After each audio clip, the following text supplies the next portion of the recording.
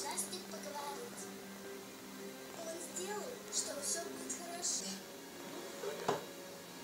Леонид, я приехал.